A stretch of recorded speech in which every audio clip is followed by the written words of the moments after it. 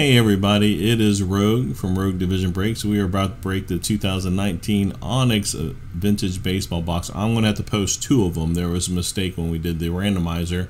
I was missing a position. But anyways, we have those positions now, and here are the cards that are broken, and you'll be able to see that in the other video.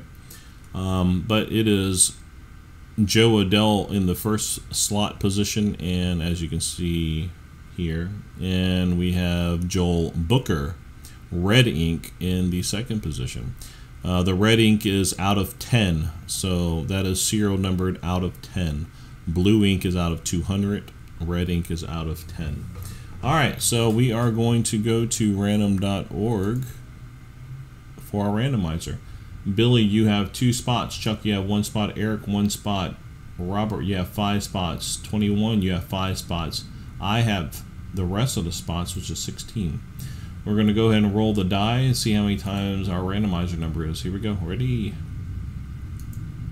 Boom. It is a 5. We're going to randomize this 5 times. Here we go, guys. Ready? One, two, three, four. Good luck.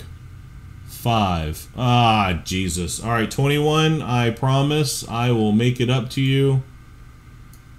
I promise I'll make it up to you. I thought that you guys would, um, a second chance might give you guys some some hope, but my 16 positions is is is just too hard of too too too much percentages going that way. All right, so that's how it looks. Jo Adell, Joel Booker. Um, actually, 21. I'll go ahead and send you to Jo Adell because nothing has really changed except for the fact that um, I have them both now. So in all fairness, I will send you the the Jo Adell. All right. So that's that for that.